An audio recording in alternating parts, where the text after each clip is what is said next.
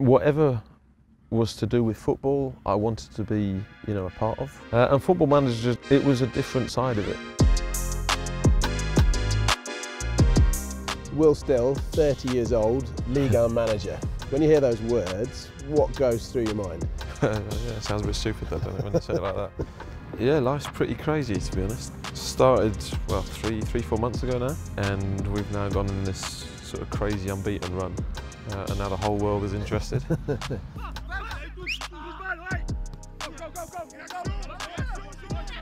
I know it attracts, you know, a lot of attention and I know people like talking about it, but I can't add 10 years onto how old I am now. I can't just say, you know, oh, I'm 40 years old, I'm all right now. You know, I understand it's a, it is something for people, but let's focus on what we're good at. Let's focus on, you know, on football on, and ignore the, the story about it in the outside world and, and also try and enjoy it as much as we can. Do you ever feel overawed at all?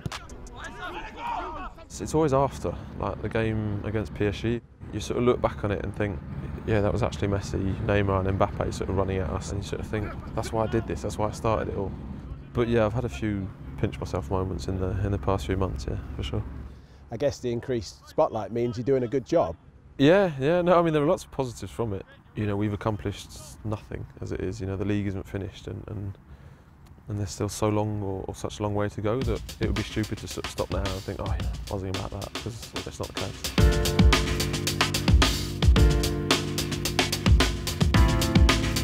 Well, Will, take us back to the beginning a little bit about your, your background, your upbringing. Yeah, so born and raised in Belgium. Uh, my both parents are English. Went to school in, in French, played football in Dutch, so very sort of Belgian Belgian identity, but albeit being in an English culture at home. I'm probably lost somewhere in the channel if you ask me where I'm from. So when do you think that coaching might be your future?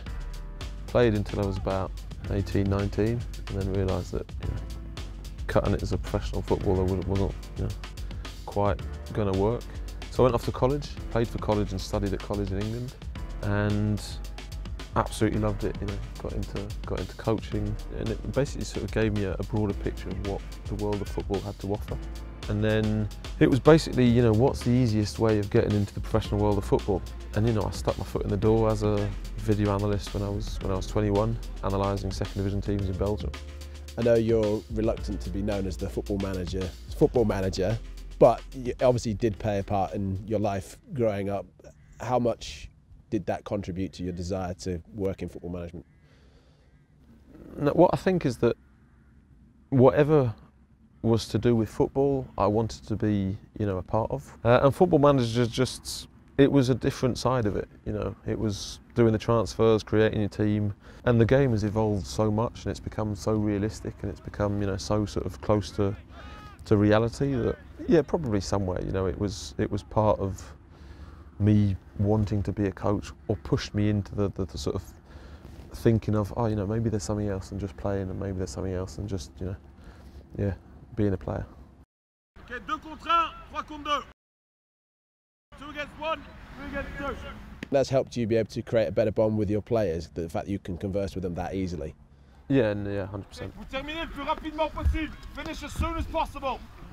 I never make a conscious effort to say, oh, well, you've got to say that in French or you've got to say this in English. It just sort of comes out and, and the message thankfully gets across. How would you describe your approach to management? Enthusiastic. I just want my team to be as proactive as possible. Let's just not sit back and, and wait for things to happen. Let's try and you know, commit forward and, and take a risk. And you know, if the risk fails, then it fails. But we'll we'll find a solution to it. Your side is one of the youngest, if not the youngest, in the big leagues in Europe. Because of their age, do you think that they've bought into what you're doing more readily? No, I just I just try and connect to each individual and make sure that they're connected in the same way to the story that we're trying to write. You know, I listen to the same music, I, I talk about the same things with my friends, and we were basically born in the same world, so we share the same things. And you know, along the line, that's something I wanna, I wanna make sure I, I keep a hold of. I always want to stay connected and, and be able to renew myself. I can identify myself and connect to the players pretty easily. Have you set yourself any targets that you would like to achieve in your career? No, not really, because I've never done it either. But obviously England is, is home to me and, and one day it's I think it's the dream of any kid to be to be working in, in England so uh, yeah I won't shy away from that.